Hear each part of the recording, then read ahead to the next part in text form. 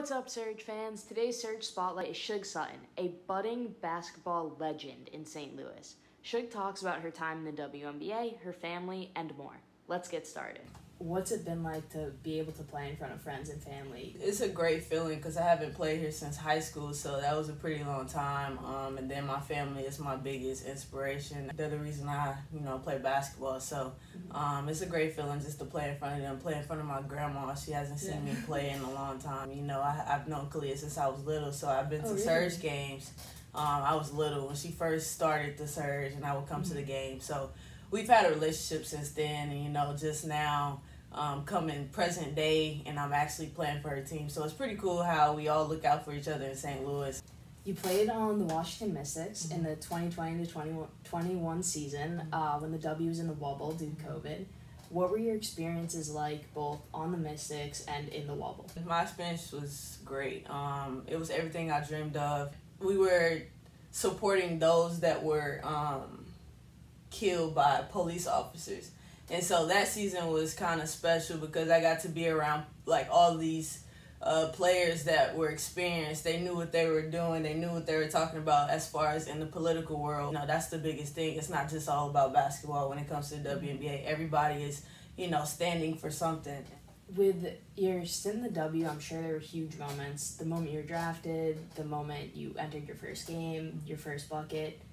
In those types of moments, what things and emotions were running through your mind? As I hear my name called in the WNBA draft, you know, it, I just instantly was with my family, but you know, it's a great feeling. And then being on the court with them, being in the WNBA, it was like unreal. Um, because I looked up to these players. I looked up to Candace Parker. I remember the first time I played against them. I'm like, dude, that's crazy. I was pretty grateful to, you know, be there and be drafted. And, you know, that's something I remember for the rest of my life. And I also did remember my first book. I'll never forget it. Um, I played with actually one of my teammates uh, at Texas, Ariel Atkins. Oh. So we played on the same team, and she got me my first bucket on the floor. Hey. She passed it to me, and I shot it. So.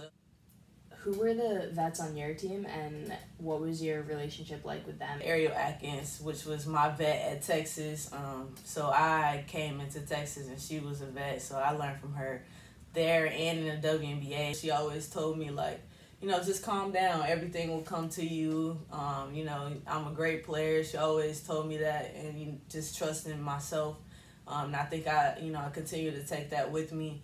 Um, and just playing with her, she kind of, you know, instilled work ethic. She's one of the hardest workers I've been around um, as a player, um, as a person. So, you know, I take that from her as well. And she probably don't know that because I don't tell her. You look up to the most. I think my dad. Yeah. Yeah, I think um, I say him because he's the reason that I'm playing now. He's the reason I'm in this, this position. I always say that because um, he pushed us, my sisters and I, every single day to be better than what we were yesterday. We didn't like it then, but you know, you appreciate it now. If you had to name two to three of the hardest things you've had to overcome to be who you are today, what would they be?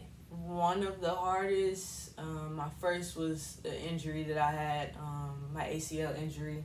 It was kind of hard coming back from that mentally just because I didn't know I would be uh, the player that I was before. As a player, I think I was at my best um, when I did turn my ACL, and it kind of pushed me back a bit. Um, but, you know, everything happens for a reason. I'm still here. I'm still playing at professional level. The second thing is, you know, not being able to be on a WNBA team, not being able to be where I want to be. And I think that's something that I've been going through, like, um, as far as going through this adversity and accepting things for what it is and just you know being thankful that i'm here and in the position that i'm in and still being able to play professional basketball and still having that time still young still trying to figure out, but I know that I'm gonna be able to do that and accomplish that. So, in one of your Instagram posts from uh-huh. a while back, you talked about learning to appreciate the now. What role does that mindset and that perspective play in your current life? Um, that kind of something I go by all the time, and you know, I got it from Kobe Bryant. He's a big influence on my life as well. But mm-hmm. um, you know, if you go by things and look at the future all the time, you're gonna make yourself more anxious or you know more mentally cluttered. And I think just focusing on the now and appreciating the now and everything that you can control Um, you know, it kind of grounds you a bit. I have two brothers. True. Okay. I was listening. I have one brother. False. True. Ah! I've been to Italy twice in one month. True. Oh, that's Yeah, true. let's go. I've been in St. Louis for two years, and I didn't go to downtown St. Louis until this summer. True. Yeah. My favorite food is pizza. False. Yeah, that's What'd you think about it? I don't know. I'm a dog person. False. Yeah. I'm a big video gamer. Ooh. False. I'm over it. Let's go. The last time I posted on Instagram was 2014. False. True. What the heck?